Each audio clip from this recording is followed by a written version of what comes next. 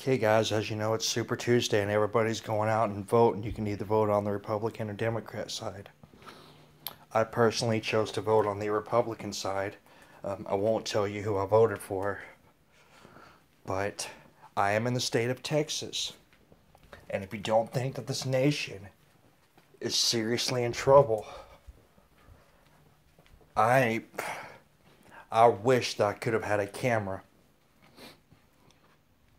in that voter booth so I could show you guys this so you could see it in the voter booth. I had to go vote on these issues. This is really something that us in Texas are having to vote on.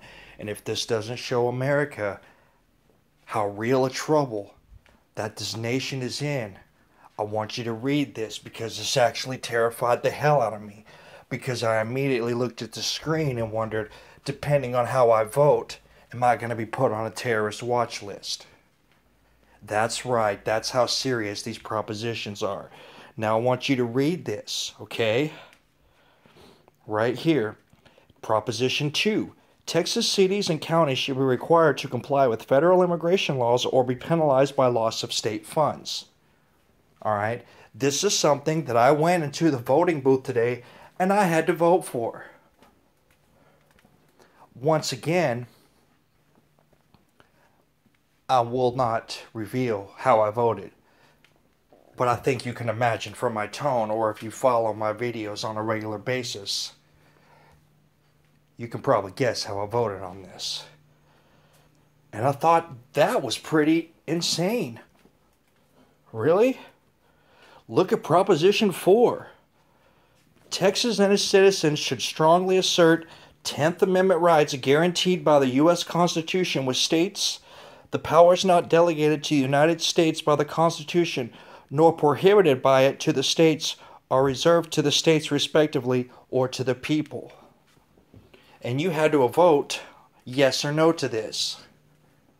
I am not kidding.